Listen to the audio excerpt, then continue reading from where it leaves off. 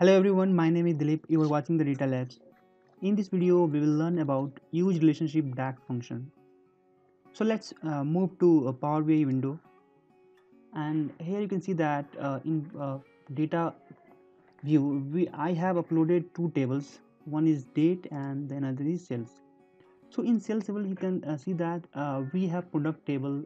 Sorry, we have product column order, date, delivery, quantity, unit price, and sales amounts so these are the details available in sales and in date table. Uh, we have date column month month name and year. And in relationship view uh, i have created a relationship between uh, date and order date and delivery date. But as you know uh, in the uh, tabular uh, date, data model relationship can be created on single column only. Multiple column relationship is not supported by the engine.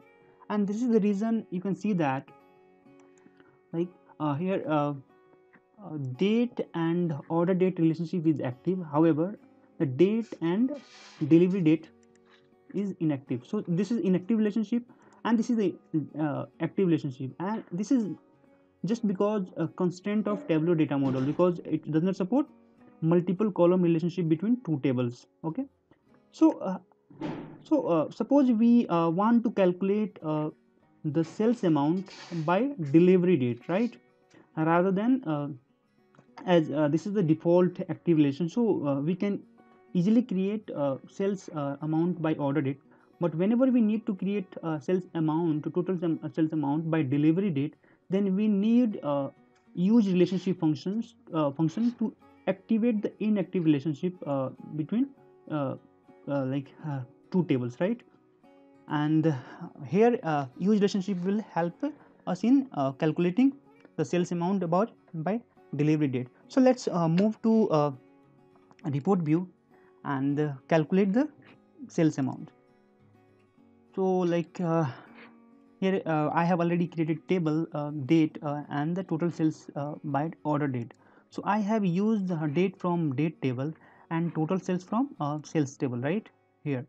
But the second measure we need to calculate is total sales by delivery date and in uh, that case we need to use uh, calculate function because see uh, calculate function will help us in activating a inactive relationship uh, during the evaluation of an expression. And in that case we need uh, the help of calculate as well as use relationship. So let's create a measure. Just right click on this and new measure. And just give the name as total sales by delivery data right? And start with calculate function then sum. Here we need to pass an expression so we need to sum the sales amount right? So let's select sales amount. Now we uh, in filter part we uh, we need to uh, pass uh, use relationship function. And in use relationship function we have to pass two columns. One is from like dimension table and one is from fact table which is which is uh, the relationship which is inactive right? So we have used date. So date date and the relationship with the, the sales table is uh, inactive relationship that is delivery date right? Just close it. And now our function is ready. Just hit enter. And now we have created a, uh, another measure uh, for delivery date okay just select it and change the format as